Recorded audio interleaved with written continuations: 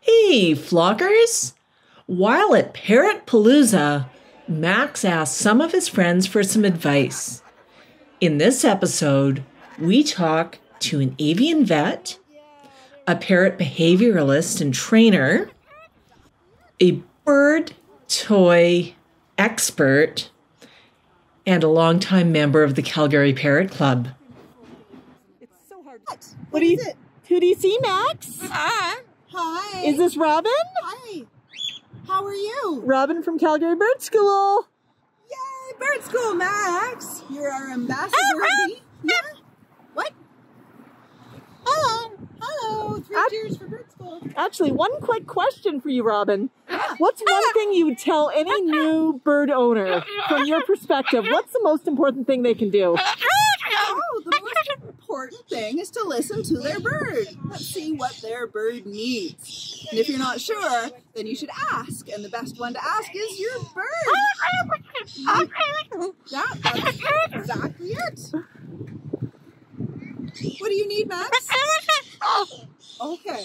Well, well we can do that then. Yeah? Hi, Max. Cool, cool. What did he say to you, Robin? He said whatever Max needs, Max gets. Yes. Hi, Max man. And here we have Sandy from Parrot Trends. Sandy, what's the most important thing when you have birds when you're thinking about getting toys? How do you pick out a good toy for a bird? Um, I would recommend toys uh, that offer foraging opportunities. Um, if you have big chewers like the cockatoos, um, big chunky wood toys for them to chew into toothpicks. Um, yeah, um, but yeah, foraging is key for sure. Foraging is key. A lot of people say my toys get destroyed. That's a good thing. It is. It's the point of toys, isn't it, Max? Yeah. All right. Thank you. Thank you. Hey, Max. We're here with Jodene from VCA. Jodene, a lot of people have pet birds, but they don't know what they're getting into. What do you want to tell them? I would love to be able to tell them coming from a veterinarian a veterinary hospital, make sure there's an exotics vet near you that sees um, sees your particular species of bird. Excellent. important. How often should birds see a vet?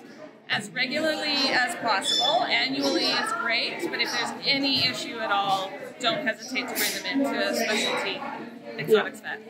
So, Max, vets are your friend. Gonna get a quick, quick scrutchy from your vet? Your friend? There we go. Yeah, there we go. Yay!